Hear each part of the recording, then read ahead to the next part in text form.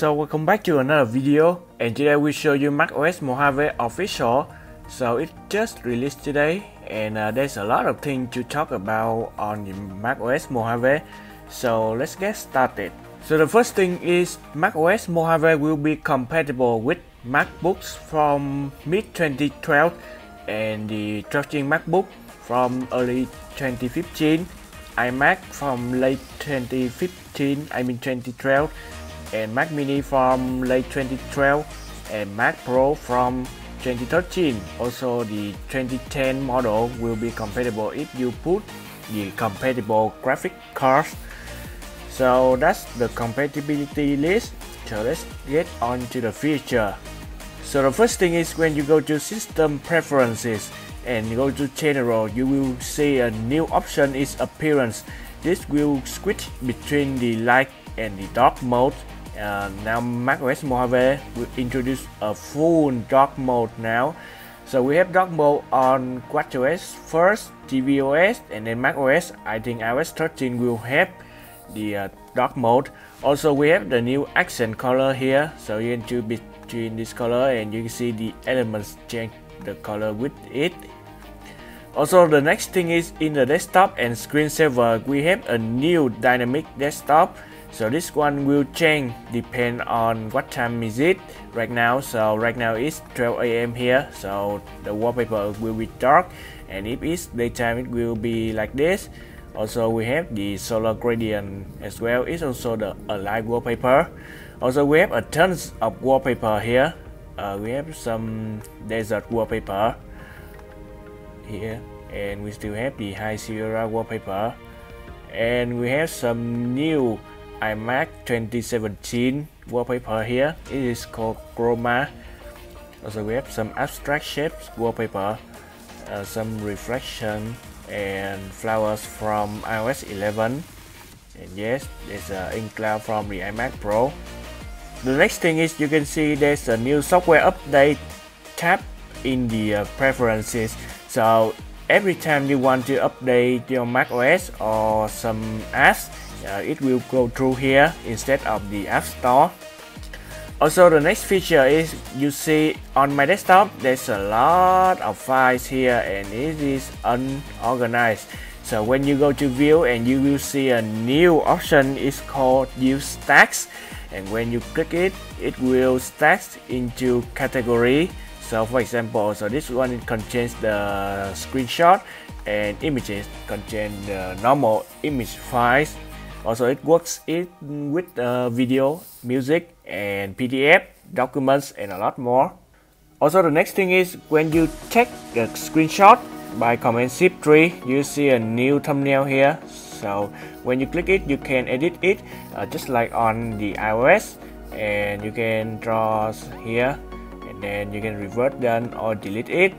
Also, when you Command 5, now you have a new bars for screenshot. You now you can capture entire screen or selected window. Also you can record your screen using this shortcut too and a lot of options for you to mess around and of course the new screenshot come with a new screenshot app here. And when you click it, it works just like the shortcut like the command shift file. Also macOS Mojave can introduce four iOS apps. Now we have the home app on macOS here. So works just like on uh, iOS. And we have a new stocks app uh, which has the same uh, UI like iOS 12 also we now have a dedicated voice memos app. So every time you want to record your voice you need to use QuickTime. Now we have uh, voice memos here so it's very convenient. Also we have an apple news here but it is disabled in vietnam but you can still find it in the uh, applications folder and then command shift dot you can see it appears here and you can still open it. So here's the apple news here. Okay the next thing is when you quick look at one image or the music files or video file uh, for example like this one. Uh, you can see you can now instantly mock up or draw something here. Right on the quick look. And you can do a lot of things here and you can click done to uh, change it immediately. So that's new feature for the quick look it also works for music video files. Okay the next thing is, is for Vietnamese user. So for the default telex keyboard and you can now type in catalog normally. So I would type in Vietnamese in uppercase. And you see I type normally So that's good, but still the Telex keyboard still sucks on Mac OS. Also in the groups, you have a new, uh, actually in view, you have a new gallery view here so you can see a big image and you can scroll through the image files down here like that also the right sidebar here will now show a lot more information right now it is the uh, DeviantArt not the uh, photos taken from camera so you cannot see much here but still it will display a lot more in uh, the right sidebar. Also in Safari, it now support website icon here. So finally, after 14 version of macOS, we now have a icon for Safari. Also on macOS Mojave, there's a new design for the App Store, reflects the design from iOS 12 and you can see here it's now very beautiful not outdated like the High Sierra. Uh, you see here you can discover yourself.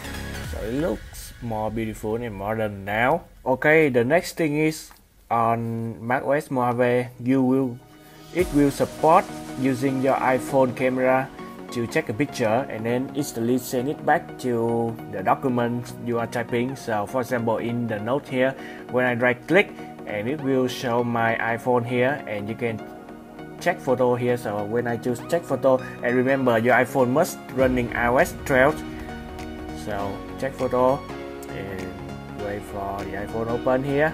So let me check a photo here use it so you can see it sent back to my Mac here the same image so this will be very a very good feature for pro user or uh, office user. So that's all for the mac os Mojave. So not much change, but still a lot of good features for normal users and pro.